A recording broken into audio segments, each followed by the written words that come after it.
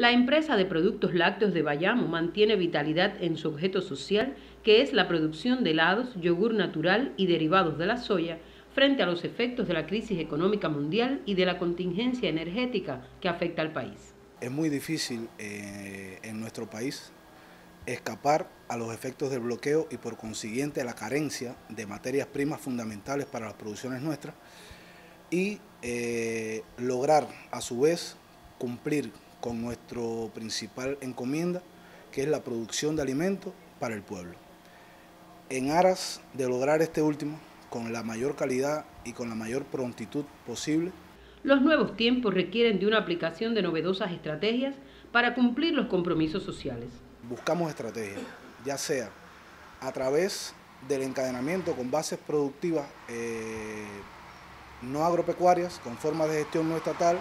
y con los propios productores de leche,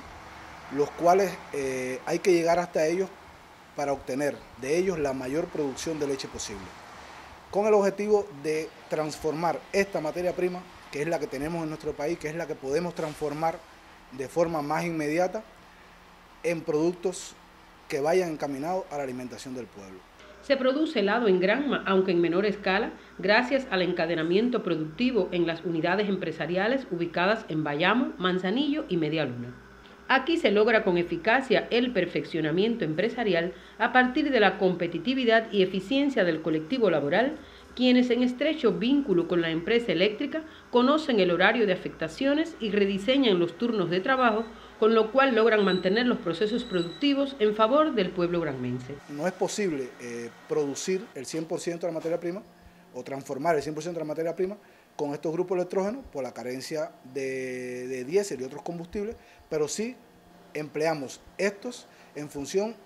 de culminar los procesos productivos que no se vean afectados ni la calidad ni la durabilidad de nuestros productos.